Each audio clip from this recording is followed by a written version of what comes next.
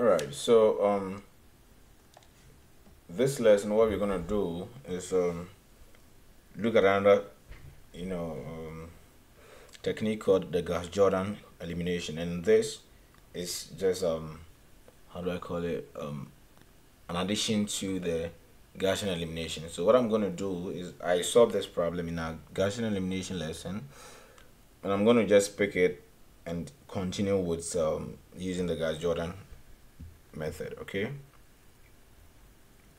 So if you remember we had using the Gaussian elimination so like I said the Gauss Jordan is an addition to the Gaussian elimination. So using the Gaussian elimination we had our augmented matrix reduced to this form um, we had one two if you if you reduce this okay negative 5 3 6 14 and then we had 0 0 1 0 negative 7 over 2 negative 6 0 0 0 again have 0 1 half and then I mean that was in the final one. I think we had a 1 and then a 2 here we said that our Gaussian elimination is to make sure that all the leading values in each row are 1 right? So that's what we have. And then just beneath the 1 everything else is 0 right? That's what we did. Now to add it up the Gauss Jordan will look at how to reduce this backward. So in this case what you're going to do is to um, look at the values you have in the how do I call it in the last row uh, second row and then these rows right? And then try to reduce it backwards. So here you're going to stand on the leading values in the last row and the rest okay? So that's what you're going to do.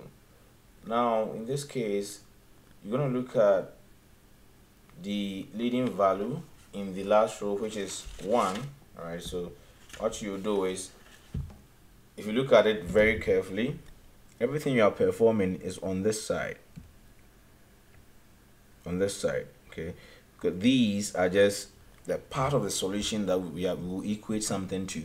So everything I'm going to do here the backwards elimination is going to start from the leading value in this row which is 1 and make sure that everything beneath that. So I'm going backwards like that.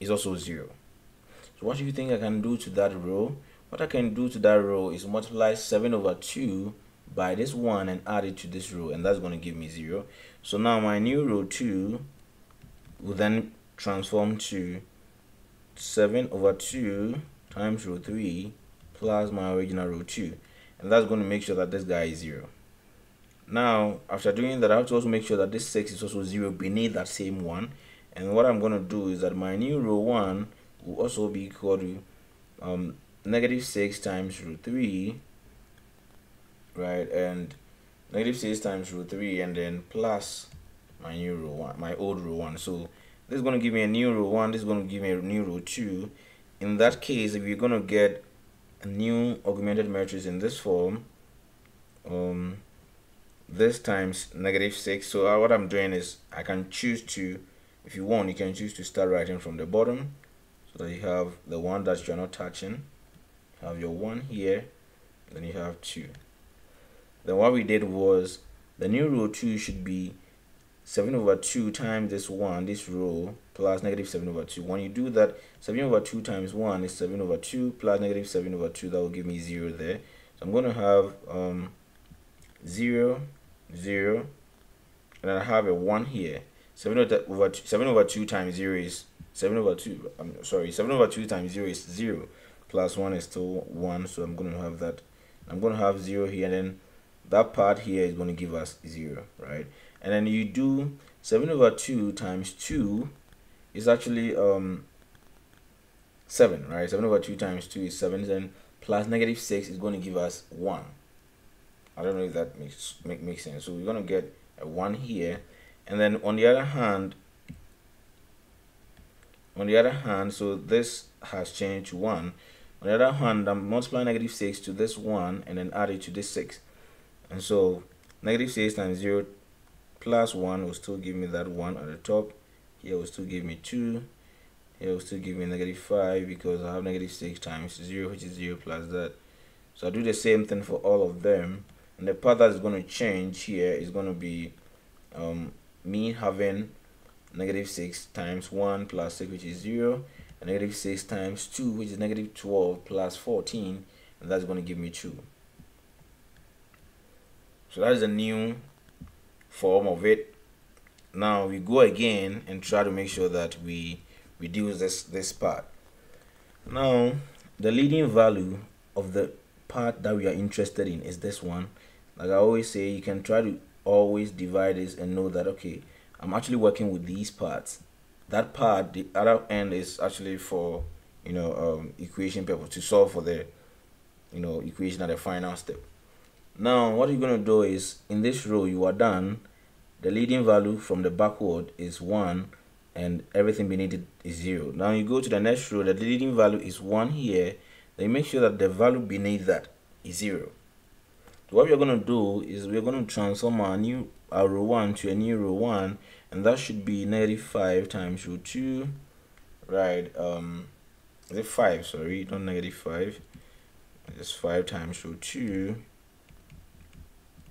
plus our original row 1 and that's going to transform and give us this matrix. Like I said you can start writing from the bottom so that you know what you are do doing. I'm gonna have another zero and I have one and two here.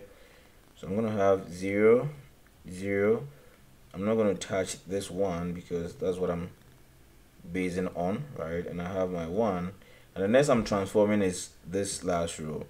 So 5 times 1 is 5 plus negative 5 and that will give me 0 I, I just want to make sure that everything within this one is 0 so I'm going to have 1 2 because 5 times 0 is 0, 0 plus plus 1 is still 1 and then the same thing happens to the other part. But this part is going to get to 0 um, this is going to get you 3 and I'm going to have my 0 back and then 5 times 1 here which is 5 plus 2 is going to give me 7 right? So I'm going to have 7 here. And this is what we call the Gauss Jordan elimination. So I'm done because if I come to the last this row here in the first row the leading value here is actually 1 right? Um yeah you can look at it that way. It's one and that leading value in that case has no other elements beneath that okay? So if not that we had only three rows you would have done it for each and every row. Look for the leading value. Make sure that the values above it okay so in that case you can put it that way. The values above it is actually zeros so you, have, you perform the same um, row of elementary row operations but in this case you are doing it from the bottom to the up okay so here if i'm supposed to solve this again we have our x1 here x2 x3 x4 x5 and then these are the part that we're going to equate them. So what this whole thing means is that i have from the bottom i'm going to have 0x1 plus 0x2 plus 0x3 plus 0x4 plus 1 times x5 which is f5 is equal to 2 and in that case s5 is 2 and indeed we had s5 to be 2 in our previous lesson. Now I come to the next one which is going to give us 0x1 plus 0x2 plus 1x3 plus 0x4 plus 0x5 should be 5 sorry should be 1 and that means x3 is what 1 and the same thing that we had for um, the previous lesson. Now you go to you go to the next one and that is a very key point. In that case I have 1x1 so I have x1 plus 2x2 and I don't have any x3 in there right? So I can just this is a line dividing so I don't have any x3 in there. So what I'm going to do is plus 0 x3 okay let me put it that there and 3x4 and then um plus 0 x what um 5 should give me 7 right and then in that case I'm gonna have my x1 to be equal to 7 minus 2x2 minus 3x4 since we don't have any other equation to solve for x2 and x4 it means x2 and x4 are free variables so I can say that x4 is equal to some constant let's say s and then x2 is equal to t and in that case x1 will be equal to 7 minus 2t minus 3s and indeed these are the same solutions we had for our previous lesson. So it means that if you use the Gaussian elimination or the Gauss-Jordan elimination you're going to get the same solutions.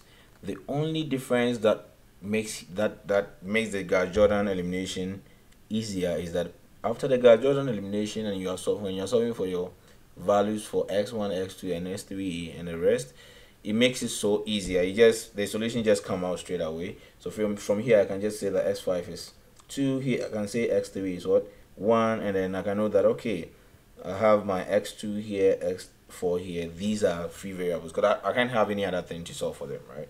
So that's what you can do. And we have special names we give to this method. So this method is actually called the row reduce right? Reduce row actually that's how it goes. Reduced row echelon um, form that is a Gauss Jordan. And then the Gaussian elimination is row echelon form maybe echelon form you can call it that way echelon form. But the reduced row echelon form is the Gauss Jordan elimination method all right so what I have for you here is to use the Gauss-Jordan elimination method to solve this or you can try to use the Gaussian elimination. And make sure that you get these same values or these same solutions. And again you can try to use the Gauss-Jordan elimination method which is going to help you solve this all right so yeah see you in our next lesson. We're going to talk about something else maybe yeah something more deeper. And then make sure that we understand all the basics and the elementary stuff that we need in linear algebra. All right see you